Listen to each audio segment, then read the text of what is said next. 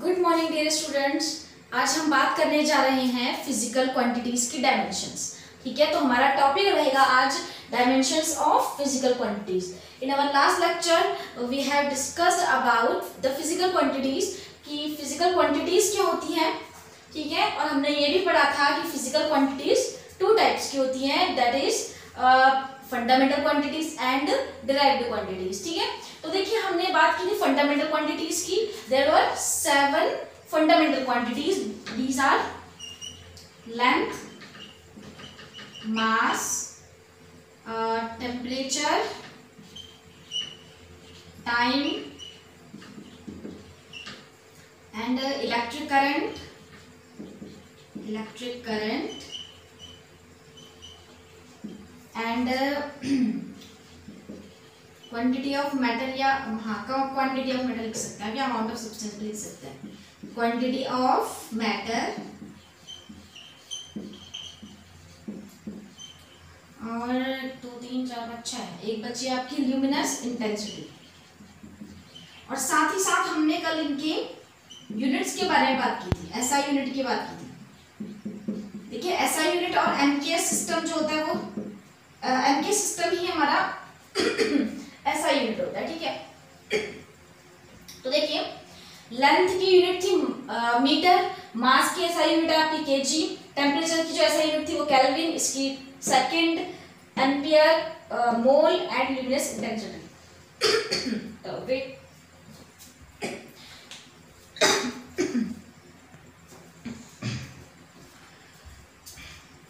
हाँ तो बच्चों, हम कह रहे थे कि length, mass, temperature, time, electric current, quantity of matter and luminous intensities.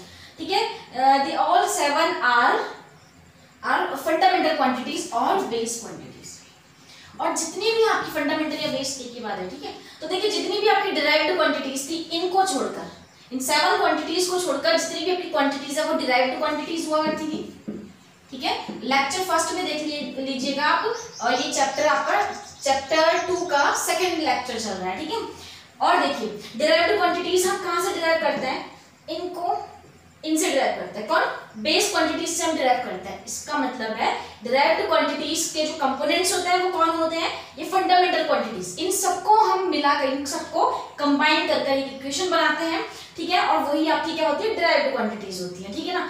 तो या इसका मतलब हम ऐसा बोल सकते हैं, ऐसा बोल सकते हैं कि जो फंडामेंटल क्वांटिटीज है ना, यही है क्या हमारी पूरे वर्ल्ड की डायमेंशन है। ठीक है? These are seven seven dimensions of world पूरे वर्ल्ड की सेवन डायमेंशंस बोल सकते हैं। Uh, और देखिए इनको डिनोट करने का वैसे हमने ऐसे भी बताया था कि इसको सिंपली हम लेंथ को एल लिख देते हैं मास को एम लिख देते हैं टेम्परेचर को टी लिख देते हैं है ना? इसको स्मॉल टी लिख देते थे ठीक है? लेकिन अगर हम बात करें डायमेंशंस की ना तो डायमेंशन के लिए हम इनको कहीं पर भी अगर आपका ऐसा लिखा है कैपिटल एल और ये वाला ब्रैकेट होना चाहिए देखिए। ये वाला। स्क्वायर ब्रैकेट के अंदर हमने ये एल लिख दिया इसका मतलब ये आपकी लेंथ है। ठीक है? डायमेंशन ऑफ़ लेंथ समझ रहे हैं आप लोग? ठीक है? तो सेवन फंडामेंटल डायमेंशंस है। इन्हीं से आपकी, इन्हीं फंडामेंटल डायमेंशन से आपकी डिराइव्ड क्वांटिटीज डिराइव होती हैं, बनती हैं। तो मास के लिए हम डिनोट करते हैं कैपिटल एम लेते हैं। इस लेटर को अल्फ़ाबेट को लेंगे। और याद रख रहे कभी भी आप कैपिटल एम मत लीजिएगा, क्योंकि मार्क्स कट जाता है, वो गलत गलत हो जाएगा आपका। ठीक है? तो वो dimension of mass is capital M dimension of temperature A ध्यान दीजिएगा। कहीं पर तो ऐसा के लिखा होता है, आप टी मत लिखना, ठीक है? और कहीं पर ऐसा करते हुए ये कुछ ऐसा बना दिया जाता है। बुक्स में देखना, आप कहीं पे ऐसा लिखा होगा, आप सीधे सीधे आपने थीटा बना देना, ठीक है? ऐसा कर दिया। और टाइम के लिए आप कैपिटल लिख देते हैं। तो जो बेसिक देख जाती है ना तो length mass time electric current के लिए, देखिए यूनिट इसकी एम्पियर थी। और इसका जो डायमेंशन है वो कैपिटल ए होगा।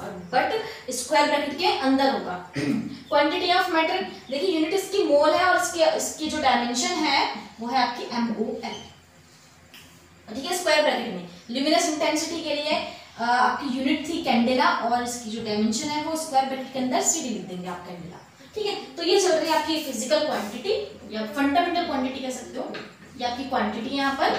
और ये आपकी चल रही है डायमेंशन डी आई एम लिखेंगे शॉर्ट में, ठीक है? और यहाँ पर से यूनिट भी लिख देता है ताकि आप लोग कंफ्यूज ना रहे। यूनिट है लेंथ की यूनिट हुआ देखिए एसआई यूनिट की बात कर रहे हैं। ऐसा unit means M K S system में ले रहा ठीक है? तो तीसरा कॉलम था ये। First column second column third column length की जो यूनिट होती है वो मीटर होती है। एम देखिए सब हमने फ़र्स्ट लेक्चर में डिस्कस कर लिया है। फिर भी मैं आपको बता देती हूँ, क्योंकि आपको ये वाला चार्ट बनाना ठीक है? मास के लिए आप बनाएँगे केजी किलोग्राम और टेम्परेचर के लिए होता है कैलविन के लिखते सिंपल और टाइम की यूनिट होती है आपकी ऐसा यूनिट होती है आपकी सेकंड इलेक्ट्रिक करंट की होती है आपकी एम्पियर ए लिखते simple mole M O L E लिखिए या शॉर्ट में इसका सिंबल है एम ओ एल मोल कैंडेरा के लिए सी ठीक है? तो जल्दी से पहले इस वाले चार्ट को जल्दी से आप लोग नोट कर लेंगे। फिर देखिए, अभी ये हमारी फंडामेंटल क्वांटिटीज की डायमेंशन है। या हम ऐसे बोल सकते हैं जो फंडामेंटल क्वांटिटीज है ना वही अपने आप में क्या है?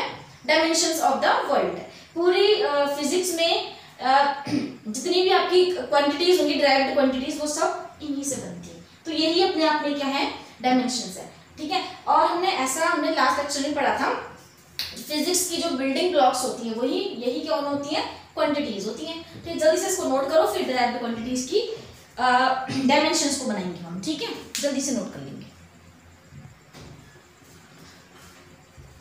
सिर्फ़ कर देते हैं हम। ठीक है तो अपने कॉपी में हाथ हाथ नोट करना है। क्योंकि अब हम चल रहे हैं डायरेक्ट क्वांटिटीज के बारे में पढ़ने। ठीक है? तो पहले देखो, अगर हम अब बात करते हैं जरा डायमेंशन फॉर्मूला हाँ डायमेंशनल डायमेंशनल फॉर्मूला क्या होता है? देखो बच्चों डायमेंशनल फॉर्मूला वो डायमेंशन जो फंडामेंटल क्वांटिटीज है सेवन वो अपने आप में डायमेंशन है, ठीक है? अब जो डायमेंशनल फॉर्मूला है, ये उन सेवन क्वांटिटीज को छोड़कर मीन्स डायमेंशन डायरेक्ट क्वांटिटीज की बात हो रही है यहाँ पर। देखिए, ध्यान देना। सपोज़ हम बात कर लेते हैं डेंसिटी की बात करते हैं, ठीक है? डेंसिटी की आपने बात की थी।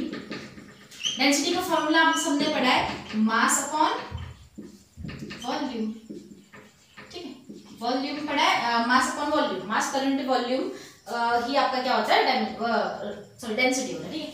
हम डायमेंशन बात की बात कर रहे हैं। डायमेंशन ऑफ़ रो या डेंसिटी डेंसिटी की डायमेंशन की बात करें तो ध्यान से देखना। ये है आपका मास एम मास की डायमेंशन होती है आपकी मास को करते हैं कैपिटल एम से। देखिए, आपको पता है मास क्या है एक? फंडामेंटल क्वांटिटी है। वॉल्यूम तो नहीं है। लेकिन वॉल्यूम को ऐसे अगर हम वॉल्यूम का फॉर्मूला देखें ना बच्चों तो यह होता है length into breadth into height तो आप बता सकते हैं लेंथ आपका मीटर में होगा। मीटर को मीटर तो आप अपने आप में एक फंडामेंटल यूनिट है। तो इसकी डायमेंशन एल ये भी तो लेंथ ही है, एक टाइप की बस चौड़ाई है, ठीक है? ब्रेथ है ये। और है तो ये भी लेंथ ठीक है ना? ये भी एक लंबाई है मीटर में नापी जाएगी, ये भी एल हाइट अपने आप में एक लंबाई है, ठीक है? ठीक है? तो L L L to L to the power three ठीक है ना?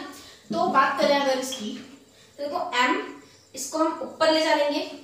एम एल माइनस थ्री तो ये आगे dimension of dimension of density density की डायमेंशन मिल गई आपको। तो देखिए, अगर हम डायमेंशनल फॉर्मूला की डेफिनेशन लिखने जा रहे हैं ना तो मैं आपको इस एग्जांपल से बताती हूँ कि हम कैसे लिखेंगे। मैं तो आपको, समझ में नहीं आएगी। ठीक है? तो देखो ध्यान से मास के ऊपर कितना है? मास के ऊपर पावर है आपकी वन ठीक है?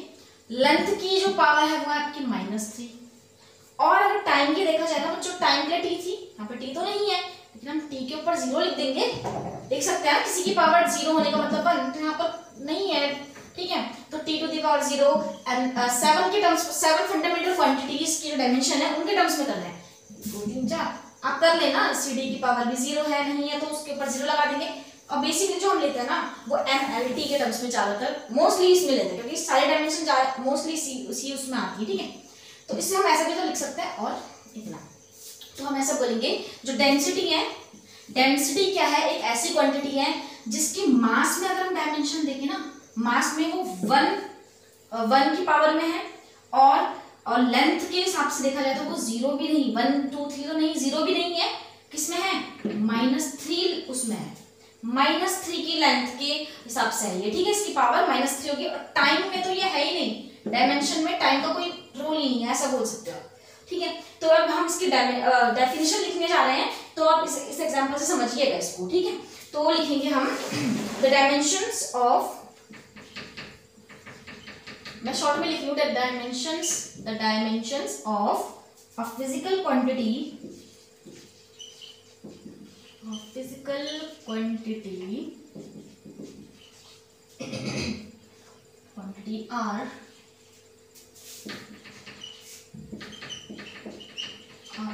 powers powers कह सकते हो या एक्सपोनेंट्स कह सकते हो, जो किसी के ऊपर पावर लगना एक्सपोनेंट्स ओवर या टू विच किसके ऊपर? To which the fundamental quantities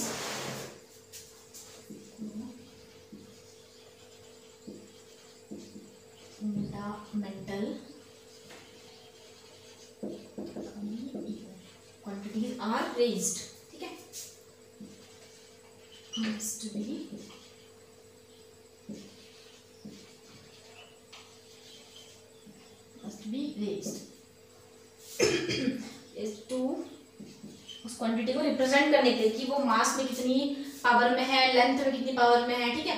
Must be raised to express यहाँ पर लिख लेते हैं बच्चों, आप लोग इसको वो कर दीजिएगा ठीक है? To express the quantity the quantity completely quantity को कंप्लीटली एक्सप्रेस करने के लिए तो जल्दी से आप इसे नोट कर लेंगे।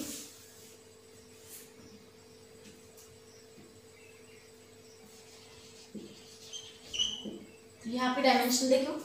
ठीक है? किसी फ़िज़िकल क्वांटिटी को अगर हम डिनोट करते हैं, किसी डिराइव्ड क्वांटिटी को कंप्लीटली एक्सप्रेस करने के लिए हम क्या करते हैं? फंडामेंटल क्वांटिटीज के ऊपर जो पावर लगेगी, वही उसके डायमेंशन फॉर्मूला हो जाता है। ठीक है? तो जल्दी से इसको नोट कर लेंगे आप लोग। और एग्ज़ाम्पल की फॉर्म में आपने वो ले लेना है डेंसिटी इक्वल टू इतना इतना इतना एंड सो ऑन ठीक है? तो लास्ट में अपने एक लाइन और चिपकानी है। Hence the dimension of density are one mass में वन है लेंथ में माइनस थ्री है, और टाइम में ज़ीरो है। ठीक है? ऐसा ही एक एग्ज़ाम्पल और ले लेते हैं। देखिए एरिया की बात करें तो एरिया होता है आपका length into breadth area equal to equal to length breadth L लिखते हैं? सिंपल ठीक है? लेंथ ब्रेथ देखिए एरिया की डायमेंशन क्या होनी चाहिए? एरिया की जो डायमेंशन है, देखो लेंथ आपका कैपिटल एल ब्रेथ भी अपने आप में एक लेंथ होती है तो उसमें भी एल लग जाएगा एल इंटू एल मतलब एल स्क्वायर लेकिन बिग ब्रैकेट में रख दोगे तो ज़्यादा अच्छा रहेगा। लेंथ के लिए एक्स के लिए, ठीक है? तो एल टू और ध्यान से देखो लेंथ दो लेंथ आती है एरिया में। जब हम किसी का एरिया निकालते हैं तो हमेशा जैसे कि अगर हम बात करें इसकी रेक्टेंगल की बात करते हैं बच्चों वेट देखिए सपोज़ ये आपका ये आपका है एक रेक्टेंगल और इस रेक्टेंगल का जब हम एरिया निकालते हैं, वैसे तो क्यूबॉइड है है ना? लेकिन आप इग्नोर कीजिए इसकी हाइट को, इसका एक पेज ले लीजिए पतला सा, ठीक है? ये वाला पेज ले लेते हैं। तो इसमें देखिए एक लेंथ एक लेंथ है और एक ब्रेथ है। तो दो ही डायमेंशन है वन और टू और आप देख रहे हैं लेंथ में आपके पास दो डायमेंशन है एल एल टू ठीक है ना? और अगर वॉल्यूम की बात करते हैं तो बच्चों, हम कभी भी किसी two dimensional object two dimension three dimension four dimension two dimension three dimension तो पढ़ा है अभी हमने, ठीक है?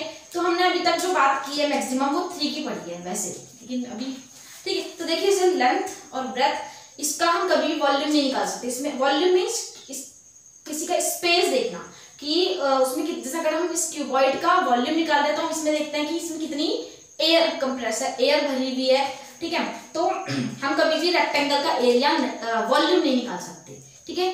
तो वॉल्यूम हम किसका निकालते हैं? थ्री डायमेंशन ऑब्जेक्ट का। और आपने देखा भी होगा वॉल्यूम होता है आपका length into breadth into height तो अगर डायमेंशन की बात करें ना तो डायमेंशन के लिए एल एल एल ये हो जाएगा एल थ्री क्योंकि हाइट भी अपने आप में और ब्रेथ भी अपने आप में क्या है? एक लेंथ ही है, ठीक है? मीटर होती है इनकी यूनिट तो देखिए एल थ्री तो तीन डायमेंशन ये जो आपका रूम है आपका या, ये जो आपका क्या है?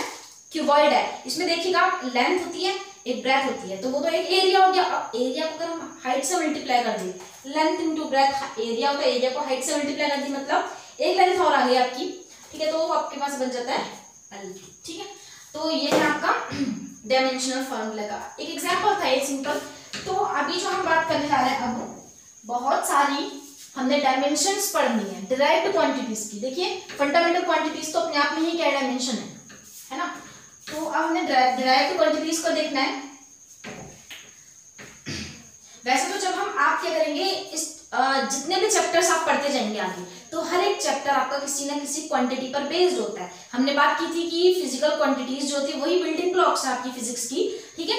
तो हर चैप्टर में आपने एक फ़िज़िकल क्वांटिटी पढ़नी है, उसकी डेफिनेशन देख के, उसके अंदर जितनी भी डेफिनेशन है, उसमें फॉर्मूला पढ़ेंगे आप, उसका एसआई यूनिट या एस यूनिट वगैरह पढ़नी आपने।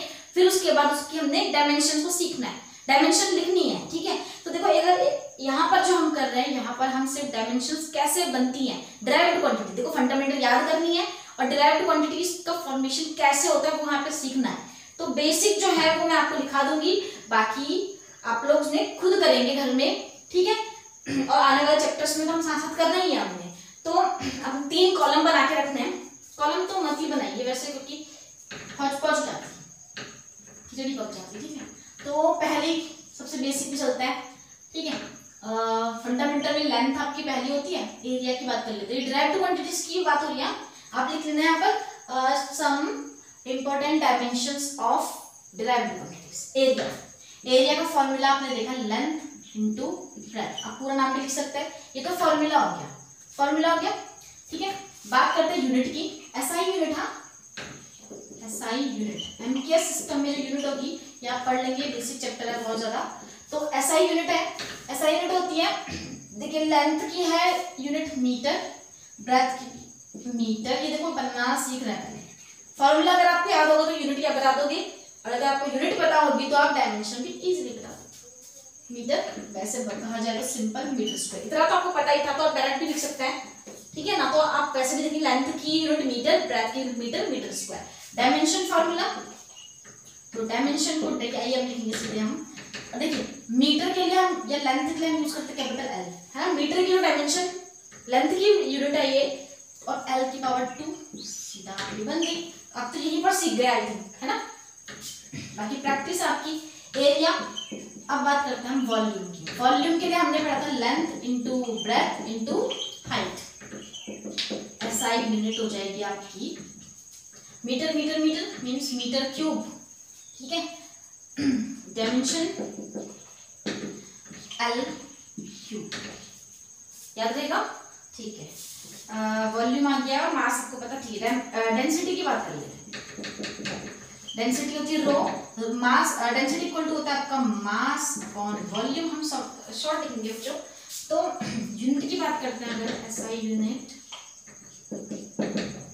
ठीक है तो यूनिट मास की यूनिट होती है केजी वॉल्यूम की यूनिट होती है मीटर क्यूब तो ध्यान से देखिए केजी पर मीटर क्यूब कही है और वैसे ऐसा भी लिख लेते हैं केजी पर मीटर क्यूब, है ना? वैसे आया यहीं से है तो लिखते समय ऐसे मत लिखिएगा अच्छा नहीं लगता। डिवाइड को आप ऐसे लिख लेंगे तो बढ़िया रहेगा। के जी पर मीटर क्यूब और देखिए, बहुत अच्छा जो होता है इसका स्टैंडर्ड कहिए तो। देखिए, मीटर क्यूब को अगर आप मीटर ये प्लस थ्री ऊपर ले जाएँगे अपॉन के ऊपर ले जाएँगे तो ये आपका बन जाता है माइनस थ्री आपको पता है तो इसको भी हम ऐसे ही बोलेंगे के जी पर मीटर क्यूब ठीक है? तो देखो डायमेंशन को अब हम डी केजी के लिए केजी किसकी यूनिट है आपको पहले ये पता लगाना है, ये फंडामेंटल क्वांटिटीज है मास और मास की जो वो है डायमेंशन है, वो है कैपिटल एम ठीक है? ठीक है?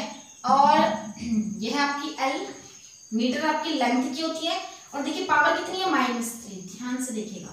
फॉर्मूले से यूनिट यूनिट से डायमेंशन सीख गए? बहुत बढ़िया। अब देखो क्या करना है। एक चीज़ और आप ऐसे भी लिख सकते हैं। ऐसे भी लिख सकते हैं। मैंने आपको बताया एम एल टी के टर्म्स में सबसे ज़्यादा लिखी जाती है। तो m की पावर तो वन हो गई, l की पावर माइनस थ्री और टाइम में तो कुछ भी नहीं है तो t ज़ीरो लिख सकते हैं आप। आप चाहे तो करंट के टर्म्स में एम्पियर के टर्म्स में भी लिख सकते हैं। एक के ऊपर ज़ीरो चढ़ा दो बस। ठीक है ना? डेंसिटी हो गया आपका। अब बात करते हैं हम स्पीड की।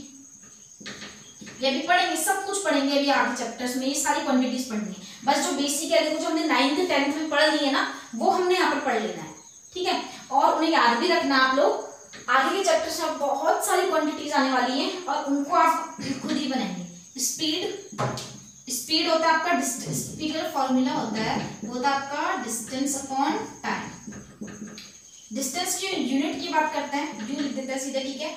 डिस्टेंस की यूनिट होती है आपकी मीटर टाइम की यूनिट होती है आपकी सेकंड तो newton sorry metre per second और मैंने आपको बताया कुछ इस टाइप से तो आप ऐसे लिखेंगे मीटर ये एस की पावर वन है ना तो वन जब ऊपर जाएगा तो ये पर सेकंड हो जाएगा ठीक है? मीटर पर सेकंड अब देखना है पहले मुझे कि नीचे दिख रहा है नहीं दिख रहा है।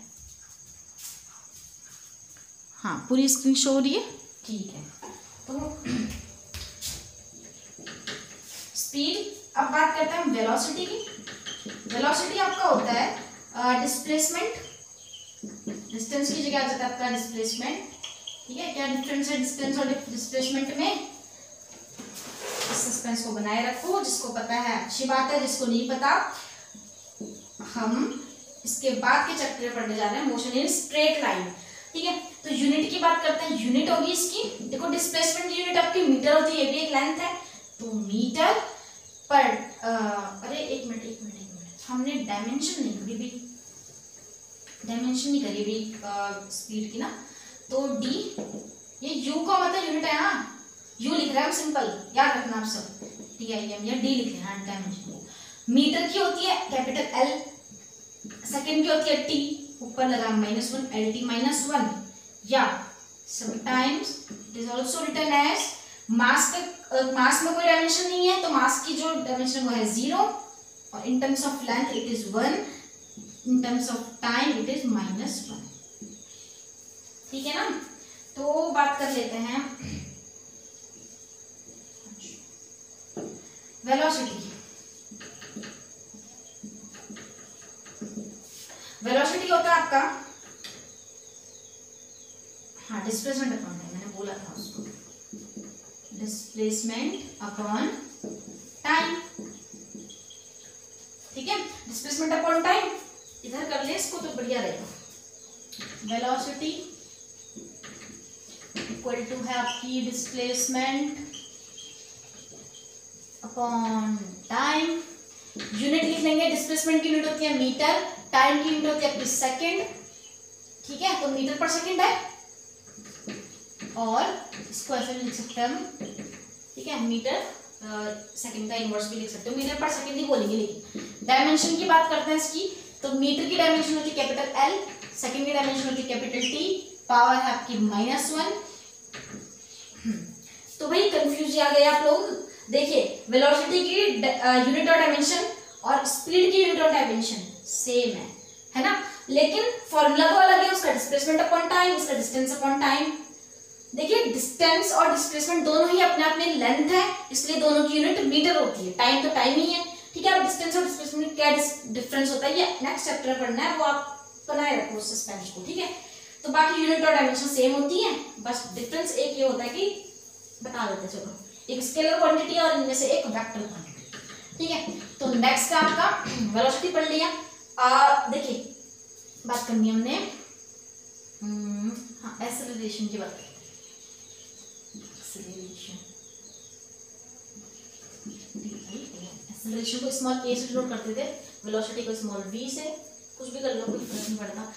देखिए एक्सेलरेशन आपका क्या होता है? Change in velocity change in velocity और अपॉन में चलता है आपका टाइम या आपने ऐसा भी देखा होगा बच्चों, में एक बार और फॉर्मूला लिख देते इसका, अलग से। v minus u upon T v minus u upon T देखिए वेलोसिटी ये है फाइनल वेलोसिटी और ये है आपकी इनिशियल वेलोसिटी अपॉन टाइम देखो फाइनल वेलोसिटी में से इनिशियल वेलोसिटी को माइनस करेंगे तो आपकी वेलोसिटी की तो बचेगी। मतलब चेंज इन वेलोसिटी जो भी आएगा आपका, वो वेलोसिटी ही आएगी, ठीक है? फाइव टॉफीज में से टू टॉफीज माइनस करो तो थ्री क्या बचेगा? थ्री थ्री टॉफीज ही बचेंगी तो वेलोसिटी में से वेलोसिटी माइनस करके आपका वेलोसिटी ही बचेगी। तो देखा जाए अगर यूनिट तो यूनिट की बात करेंगे तो वेलोसिटी ऊपर जो यूनिट होगी, वो पूरी वेलोसिटी की होगी। चेंज इन वेलोसिटी में इसकी यूनिट अपॉन इसकी यूनिट वेलोसिटी की यूनिट कितनी है? ऊपर देखो आप लोग metre per second metre per second upon देखिए, ध्यान रखना, इतने की यूनिट अभी यहाँ इतने की यूनिट अभी आपकी मीटर पर सेकेंड है। क्योंकि ऊपर वेलोसिटी ही आएगी? अपॉन टाइम टाइम की यूनिट होती है आपकी सेकेंड तो हम ऐसा कर सकते हैं इसको। मीटर ध्यान दीजिएगा सेकेंड की पावर माइनस वन है ना? और ये वाला वन है, जब ऊपर जाएगा ना बच्चों तो ये आपका माइनस वन हो जाएगा। और minus one minus one minus minus plus तो ये आपका बनेगा माइनस टू आ जाएगा। मीटर पर सेकेंड स्क्वायर ठीक है? और डायमेंशन की बात करेंगे तो डायमेंशन हो जाएगी मीटर की होती है एल सेकेंड की होती है T minus two L T minus two या या M zero L T minus two देखो, ऐसे याद रखना, वो तो सिर्फ़ समझने के लिए है। कहीं पे यूज़ होगा अभी जब ये यूज़ होगा एप्लीकेशन में तो ऐसा लेंगे ठीक है? तो एसिलेशन का हो गया आपका? बात करते हैं मोमेंटम का। मोमेंटम देखो, कल हमने मोमेंटम भी पढ़ा था। कुछ याद आ रहा है?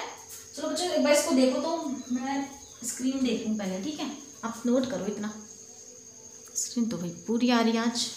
चलो बढ़िया है आज फिर।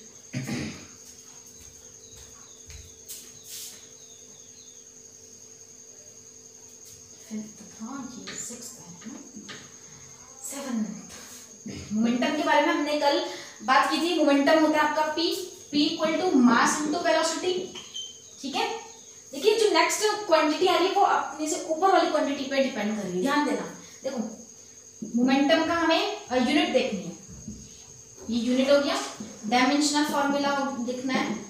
तो मास की यूनिट होती है आपकी केजी और वेलोसिटी की यूनिट होती है वेलोसिटी की, ध्यान से देखो मीटर पर सेकंड तो KG metre per second it is a unit of momentum dimension की बात करते हैं तो केजी का sorry KG means mass mass का जो डायमेंशन है वो कैपिटल एम है. मीटर के लिए एल सेकंड के लिए T one minus one T minus one ठीक है? सेवन एट क्वांटिटी की बात करते हैं। देखो, अभी हम केवल इंपॉर्टेंट इंपॉर्टेंट पढ़ रहे हैं। क्यों? क्योंकि सारी की सारी पढ़ेंगे, अभी आपको समझ में नहीं आएगा। समझ में क्या? यहाँ पर तो वैसे भी डायमेंशन बनाना सीख रहे हैं, ठीक है? इस चैप्टर में डायमेंशन बनाना सीख रहे हैं, इसके बाद जो चैप्टर्स आएँगे हमारे आगे, उनमें ये सारी क्वांटिटीज जितनी भी आपकी बुक्स में लिखी है, वैसे आप प्रैक्टिस कर सकते हो, उसका फॉर्मूला देखकर प्रैक्टिस कर लीजिएगा। लेकिन बेसिक जो आपको याद भी होनी चाहिए, वहीं से आप अदर क्वांटिटी को सॉल्व कर पाएँगे, ठीक है? उनकी डायमेंशन सॉल्व कर पाएँगे। तो इतनी जितनी मैं लिखाऊँगी आज, वो आप ज़रूर ज़रूर याद कर लीजिएगा। रट लेना है उसको आपने कोई पूछे तो बिना फॉर्मूले के आप उसका डायमेंशन बता दो। मोमेंटम हो गया आपका। अब आता है आपका फोर्स देखिए, आपने सबने पढ़ा है F equal to M A M A ये एम इंटू ए क्या होता है? ये मास इंटू एसेलरेशन होता है, ध्यान देना। मास इंटू एसेलरेशन तो यूनिट की बात करें तो मास की जो यूनिट होती है बच्चे, वो होती है आपकी के जी एसेलरेशन की यूनिट होती है आपकी मीटर पर सेकेंड ध्यान देखो square metre per second square ध्यान देखो। ये। डायमेंशन की बात करेंगे तो केजी की डायमेंशन है कैपिटल एम है ना? मीटर के लिए मीटर एम यहाँ पर ध्यान देना, ये एम और वो एम अलग है। मैंने आपको पहले ही कल वाले उसमें सचेत कर दिया था। ध्यान देना आप लोग एसिलेशन को ए लिख देते simple mass into acceleration F equal to M A metre की डायमेंशन एल मीटर क्योंकि लेंथ की डायमेंशन है। As time T minus two ठीक है तो फोर्स की डायमेंशन कितनी है? M L T minus two note कर लो इसको पहले। ताकि हम आगे का वो कर सकेंगे। जल्दी कीजिए आप। मैं जरा व्हाइट बोर्ड को पहले रेडी रखूँगी। आप सारी क्वांटिटीज लिख देंगे, ना तो वीडियो काफ़ी लंबी हो जा रही है। ठीक है व्हाइट बोर्ड रेडी है। ठीक है, अब हैंड टू हैंड का फॉर्मूले लिखते हैं। ऐसे वीडियो ज़्यादा लंबी नहीं होगी टाइम कम लगेगा ठीक है, देखो वर्क वर्क का आपने पढ़ा होगा फोर्स इंटू डिस्प्लेसमेंट होता है। वैसे तो फोर्स इंटू डिस्प्लेसमेंट नहीं होता पूरा। ठीक है, ये एक स्पेशल केस में होता है, जब जिस डायरेक्शन में फोर्स अप्लाई कर रहे हैं, उसी डायरेक्शन में डिस्प्लेसमेंट हो जाए डी या एस बोल लो आप। ठीक है? तो वही, वहीं पर हम फोर्स डिस्प्लेसमेंट लेते हैं। कैसे लेते हैं? आप नेक्स्ट चैप्टर में पढ़ेंगे थर्ड चैप्टर में। ठीक है? तो force into displacement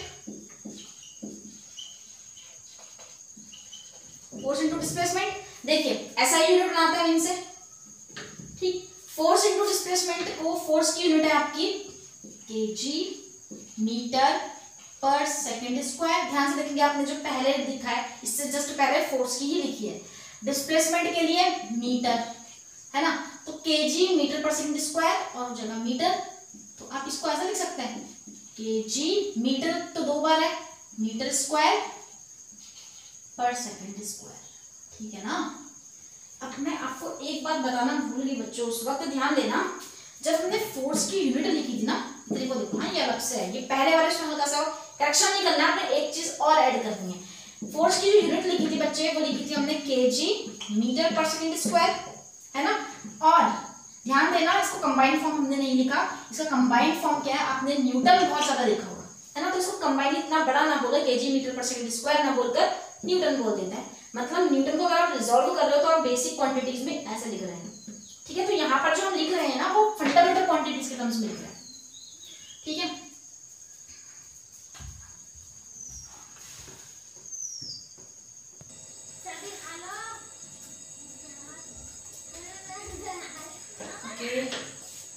Dear students, because of a technical issue, i have to explain you again. देखिए बता हमने पढ़ा था work equal to force into displacement ठीक है? ऐसा यूनिट है kilogram metre square per second square ठीक है? मैं आपको बता रही थी कि फोर्स की जो एक यूनिट होती है kilogram metre square per second square ये है sorry kilogram metre per second square इसको कंबाइंड फॉर्म में हम बोलते हैं न्यूटन क्या बोलते हैं? न्यूटन डिनोट करता है कैपिटल एन से। ठीक है कंबाइन में। इतना बड़ा ना बोलकर सीधे सीधे न्यूटन बोल देता है।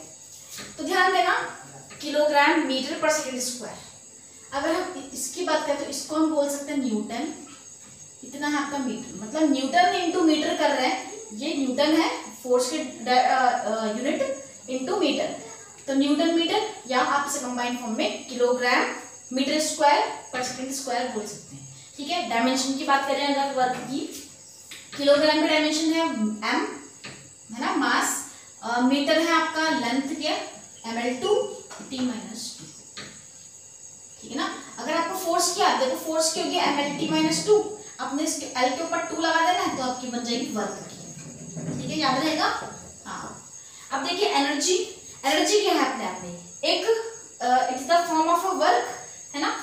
Energy can be converted into work और work can be converted into energy, ठीक है? तो एनर्जी होता है आपका अमाउंट ऑफ़ वर्क तो हम ऐसा बोल सकते हैं। ऐसा यूनिट क्या होगी? ऐसा unit will be same as work तो एनर्जी की यूनिट भी वही होगी जो जो किसकी होती है? वर्क की होती है। और आप इसको सिंपली न्यूटन मीटर कह सकते हो। ऊपर भी लिख लेना आप यहीं पे न्यूटन मीटर हम्म? अब देखिए डायमेंशन भी बिल्कुल वही होगी। एम एल टू की क्वांटिटी तो सेम ही है। ठीक है? और एक बार ध्यान देना, एक बात और ध्यान देंगे, जो बहुत ज़्यादा यूज़ होता है डायमेंशन को तो बाद में लिखते हैं। पहले देखिए, ये जो न्यूटन मीटर है, इसे और, यहीं यहीं पर लिख लेना, यहीं पे। न्यूटन मीटर और देखा आपने बहुत ज़्यादा सुना होगा जूल जूल भी कहता है जे ओ यू एल ठीक है? जूल डायमेंशन डायमेंशन होगी इसकी M L two T minus two ठीक है? पावर की बात कर लेते हैं तो पावर इक्वल टू होता है पावर होती है आपकी एबिलिटी टू डू वर्क देखिए, कोई वर्क यूनिट टाइम में कितना वर्क हो रहा है, वही आपकी पावर होती है। तो पावर इक्वल टू होता है आपका work done work done upon time W upon T पड़े होंगे आप, ठीक है? तो वर्क डन अपॉन टाइम देखिए, ऐसा यूनिट की बात करें तो वर्क डन का वर्क डन की यूनिट है आपकी। देखिए बेसिक में करते हैं, ठीक है? Kilogram metre square per second square kilogram, metre square, per second square, ध्यान दीजिए अपॉन में है टाइम सेकंड ठीक है? अब देखिए सेकंड को अगर हम ऊपर भेजते हैं तो बच्चों, ये बन जाएगा आपका kilogram, metre square, per second cube ठीक है? यहीं से हमें डायमेंशन बनानी है। और देखो, अगर देखा जाए ना तो हम इसे और डायमेंशन चलो बाद में करेंगे। इसके पहले पूरी अच्छी तरीके से वो लेते हैं। ठीक है? तो ये होगी आपकी क्या? आपने सीधे सीधे लिख देना है। ठीक है, ये लिखेंगे आप यूनिट है इसकी ठीक है? यूनिट आपकी kilogram metre square per second cube ठीक है? और देखो, ये वाला जो वर्क डन की यूनिट होती है जूल अपॉन में टाइम जूल पर सेकेंड है ना? सीधे सीधे लिखते हैं जूल पर सेकेंड तो हम kilogram metre square per second cube को लिख सकते हैं जूल पर सेकेंड और एक और यूनिट है इसकी, और watt W A double T लिख लेना वॉट इसकी पावर यूनिट आपकी एक है वॉट ये बेसिक फॉर्म में पूरा रिजॉल्व करके है। बेसिक फंडामेंटल क्वांटिटीज के टर्म्स में। और ये आपका थोड़ा सा और बड़ा हो गया जूल पर सेकेंड और वॉट ठीक है? तो प्रेशर की बात कर हाँ डायमेंशन लिखनी थी इसकी। डायमेंशन है इसकी, देखिए देखिए जूल पर सेकेंड और वर्क वर्क की डायमेंशन आपकी M L two T minus two ध्यान दीजिएगा M L two T minus two upon second second की यूनिट होती है आपकी T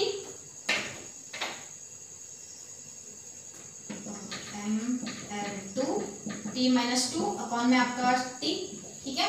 इसको हम ऊपर भेजेंगे तो टी माइनस टू है एक पावर और जाएगी ऊपर तो टी माइनस वन हो जाएगा क्योंकि ये माइनस वन ऊपर जाएगा। तो यहाँ पर लिख लो आप इसे M L two T minus three या आप ऐसे भी लिख सकते हैं सिंपल आ, क्या? देखिए ऐसे मत कीजिए अगर आपको यूनिट आ गई है तो आप इजीली कर सकते हैं कैसे? देखिए के जी की यूनिट होती है आपकी M L two T minus three देखिए, आपने एक चीज़ नोट की होगी नोटिस की होगी कि वॉट के हिसाब से हम सीधे नहीं बना सकते। हाँ फॉर्मूला पता आप बना सकते हैं, लेकिन अगर आपके पास यूनिट होती है ना बेसिक फंडामेंटल यूनिट की टर्म्स में हो अगर आपके पास यूनिट तो क्या होता है हमसे? हमारे लिए डायमेंशन निकालना इजी हो जाता है। ऐसे नहीं कर सकते हम कंबाइन वाले फॉर्म में नहीं कर सकते इतना अच्छा। तो इलेवंथ ट्वेल्थ प्रेशर की बात करते हैं। तो प्रेशर आप नाइन्थ में पढ़ के आए हो।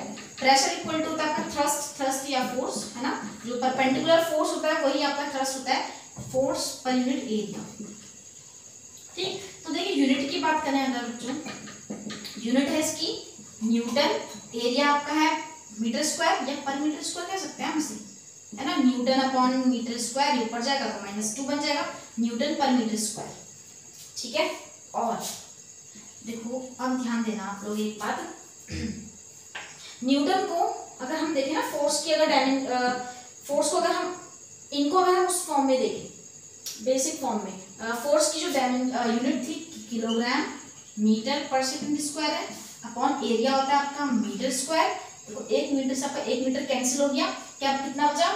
अपॉन में बचेगा आपके पास के पर सेकेंड स्क्वायर अपॉन में आपका मीटर ये मीटर ऊपर जाएगा माइनस वन बनेगा, है ना? तो हम डायरेक्ट लिखते हैं इसको तो आपने सीधे सीधे लिखना है के पर मीटर पर सेकंड स्क्वायर किसकी यूनिट है ये? यूनिट है आपकी प्रेशर की। आगे बात समझ में? आपने ये लिख लेना है और इस, या तो इसको याद रखना है तो इसको याद रखना ये है ड्राइव करने का तरीका है ड्राइव कर रहे हैं। अगर आपको बेसिक बेसिक पता है तो आप इनको ड्राइव कर सकते हैं सीधे ये लिख लेंगे ठीक है? डायमेंशन यूनिट गई आपको डायमेंशन बनाना इजी हो जाएगा। तो डायमेंशन हो जाएगी आपकी के जी के लिए होता है आपका एम मीटर के लिए आपके पास है एल माइनस वन सेकेंड के लिए आपके पास है माइनस टू तो M L minus one T minus two which is the dimension of pressure ठीक है ना? तो जल्दी से आप इसे नोट कर लेंगे। हाँ एंगल की बात कर लेते हैं। एंगल का फॉर्मूला होता है आपका arc into arc upon radius arc upon radius अब ये आर्क अपॉन रेडियस ये कहाँ से आ गया एंगल में, है ना? तो देखो, अगर हम बात करते हैं ना, एक पॉइंट हमने हमने कोई एंगल बनाया। इस एंगल की वैल्यू निकालनी है। इस एंगल की वैल्यू निकालनी है तो इस एंगल को हम एक सर्कल का वो मान सकते हैं। अगर देखो आपके पास एक सर्कल है तो हमने सर्कल का एक सर्कमफेरेंस है ये ये पूरी सर्कमफेरेंस है। तो इस सर्कमफेरेंस का आपने एक छोटा सा पार्ट लिया, ठीक है? बाकी सबको यहाँ से रिमूव कर देंगे। ठीक है? अब ये वाली आर्क देखो सर्कल का, चलो एक बार और बनाते हैं। क्या पूरा सर्कल है? इस सर्कल का अपना एक सेंटर है। ये रेडियस होगी सर्कमफेरेंस किसी पॉइंट दो पॉइंट को मिलाते हैं। सेंटर और सर्कमफेरेंस के पॉइंट को मिलाने पर आपको मिलती है रेडियस ठीक है? हमने क्या किया? दो रेडियस ये लिए लाइन यहाँ पर कितना एंगल है, ये देखना। अब ये एंगल कौन सा कर रहा है? देखो सर्कल का इतना हिस्सा, इतना पार्ट आपका इस सेंटर पे एंगल कर रहा और बाकी को हमने रिमूव कर तो हम कहेंगे तो ये तो होगी आपकी यहाँ से तक की कुछ लेंथ होगी भाई जो डिस्टेंस है ना कुछ चलेगा यहाँ पर। इसको बोलेंगे आर्क लेंथ और जबकि रेडियस तो आर्क अपॉन रेडियस आपका क्या आता है? ये होता है आपका एंगल अब ध्यान से देखेंगे यूनिट की बात करें अगर तो ये भी लेंथ है आर आपकी एक लेंथ है तो लेंथ की यूनिट होती है आपकी मीटर रेडियस की यूनिट भी आपकी मीटर तो मीटर से मीटर कैंसिल वन है ना? मतलब आपको यूनिट नहीं बचती है। सेम क्वांटिटी का रेशियो आता है तो डायमेंशन लेस ये यूनिट लेस क्वांटिटी तो हम यहाँ पर लिखेंगे no unit it has no unit या it has no dimension no dimension कोई डायमेंशन नहीं होती एंगल की. नो डायमेंशन या डायमेंशन लेस क्वांटिटी ना यूनिट होगी, ना डायमेंशन होगी, ठीक है? ध्यान रखिएगा. देखिए टाइम पीरियड की बात करें टाइम पीरियड क्या है? एक टाइम है. टाइम की यूनिट क्या होती है सीधे? यूनिट ऑफ़ टाइम है देखो टाइम पीरियड क्या होता है? ये होता है आपका एक ऑसिलेशन कंप्लीट करने में लगा टाइम ठीक है? यहाँ से चले चलते चलते चलते चलते यहाँ पहुँच वापिस, इसी अपने पॉइंट पे पहुँच गया तो एक टाइम हो गया। ठीक है? उसी कांस्टेंट स्पीड से चलेगा। या फिर आपने एक सिंपल पेंडुलम लिया। अब इस पेंडुलम को आपने क्या करा है? एक बार यहाँ से जर्क दिया यहाँ से धक्का दिया यहाँ पे जाएगा, फिर वापस आएगा, फिर गया, फिर तो एक कम चक्कर कंप्लीट हो गया इसका, एक ऑस्ट्रेशन कंप्लीट हो गया तो हम बोलेंगे यहाँ से यहाँ यहाँ से दोबारा यहाँ पर आने की जो वो है। टाइम लगेगा वही आपका टाइम पीरियड होता है। ये भी इसकी यूनिट आपकी सेकंड होगी और डायमेंशन इसकी सिंपल आपकी टी होगी ठीक है? फ्रीक्वेंसी की बात करते हैं तो फ्रीक्वेंसी क्या होती है आपकी? One upon time time period एक सेकंड में कितना टाइम सॉरी uh, एक सेकंड में कितने ऑसिलेशंस है? The number of oscillations per second वो होता है आपका फ्रीक्वेंसी ठीक है? हम ऐसे बोलते हैं देखो ध्यान से ये फॉर्मूला कहाँ से आया देखिए जब आपका टाइम टी टाइम पीरियड लगता है टाइम पीरियड में कितने ऑसिलेशन होते हैं? वन ऑसिलेशन ठीक है तो वन सेकंड में, एक सेकंड में कितने होंगे? वन अपॉन टी है ना? तो ये देखो हमने वेव लास्ट चैप्टर में पढ़ना ही इलेवेंथ में टाइम पीरियड तो यूनिट इसकी होगी आपकी हर जो कहता है वैसे वैसे देखा जाए तो one upon second one upon second ये सेकेंड ऊपर जाएगा तो हम ऐसे बोलेंगे इसे पर सेकेंड पर सेकेंड किसकी यूनिट है? फ्रीक्वेंसी की बेसिक यूनिट कह सकते हो। ठीक है पर सेकेंड और, लेकिन आपने मोस्टली देखी होगी hertz H E R T Z ठीक है? हर्ज। डायमेंशन देखें तो टाइप टी माइनस वन के ऊपर T to the power minus one electric charge Q equal to आपने पढ़ा है जो I T Q equal to I T charge equal to current into time interval तो यूनिट होगी आई की unit होती है आपकी एम्पियर टाइम की होती second ampere second dimension ampere की डायमेंशन ए होती है टाइम सेकंड की डायमेंशन टी होती है और ए टी आपकी इलेक्ट्रिक चार्ज की डायमेंशन आ गई। जल्दी से जल्दी इसको छाप लेंगे अपनी नोटबुक में इसके बाद आगे कुछ ही बचा यूनिवर्सल कांस्टेंट की बात कर लेते हैं कुछ। ठीक है? करो इन्हें। देखेंगे। आ, पहला कांस्टेंट लेते हैं हम। ग्रेविटेशनल कांस्टेंट इसे हम बोलते हैं यूनिवर्सल ग्रेविटेशनल कांस्टेंट ये क्लास नाइन्थ में आपने जब ग्रेविटेशनल चैप्टर पढ़ा होगा तो वहाँ पर आपने यूज़ किया होगा इसको, देखा होगा आपने इसे। देखो, ये ग्रेविटेशन ग्रेविटेशनल कांस्टेंट जो है, इसे यूनिवर्सल ग्रेविटेशन कांस्टेंट बोलते हैं। इसका फॉर्मूला आपका ऐसा है। ये ऐसा कहाँ से आया, देखिए। हमने कुछ ऐसा पढ़ा था, जो ग्रेविटेशनल फोर्स है, उसका जो वैल्यू होती थी mass of one body and mass of second body upon distance square और उसके बाद आपके पास एक कांस्टेंट आ है आपकी जो बच्चों। तो यहाँ से हमने जी की वैल्यू निकाली है। देखो ये डिस्टेंस स्क्वायर को यहाँ भेज दिया। एफ़ इंटू आर स्क्वायर ये मास एक बड़ा मास एक छोटा मास ध्यान से देखिए कैपिटल जी की वैल्यू कितनी है?